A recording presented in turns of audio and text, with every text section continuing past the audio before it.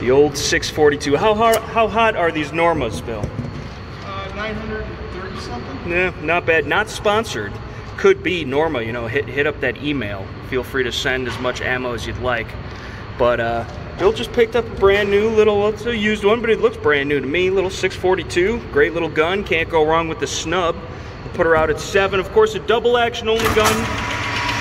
You know, double action only, so you gotta roll back that double action, which is an acquired skill. You know, they say that these are an expert's gun, uh, which I am not. But, I don't know, Bill, if you would like to hold that there for a second. You know, they used to call me the pasty pistolero when I had a wheel gun. So we'll see. We will see how we get this done. I'm gonna shoot at the number one. Double action only, of course.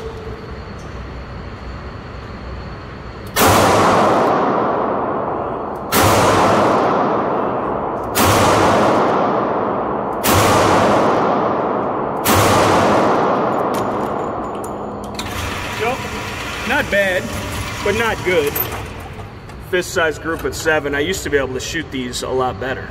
But that's actually a pretty mild load. That uh, it, you hear Norma. Norma's usually loading them hot. That wasn't bad, but you good defensive load for sure. It is a hollow point, but you just can't go wrong with a gun like that. This is one of the most useful guns you can have. That being said, they're one of the hardest to shoot. So if you're carrying one of these, or you got it stuffed in a nightstand or a sock drawer, make sure you know how to roll that double action back. That's combat effective, but really it should be all in here. So I don't know. What do you think? I think it's a, a great gun, and the load itself is very mild for what it is. Yeah. 158 grain. Yeah, which is good. hollow point and I like the heavier. I And like the heavier bullets. something, uh, foot pounds. Yeah, no, it's not. It's not bad. We'll give them a look at uh, what this actually looks like here.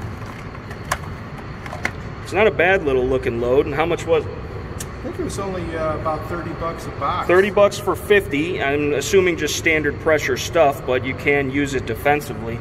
Norma makes good stuff. They've been making it for a while. Um, but yeah, can't go wrong. Pocket gun, ankle gun, backup gun, little sock drawer gun, something to carry. Can't beat it.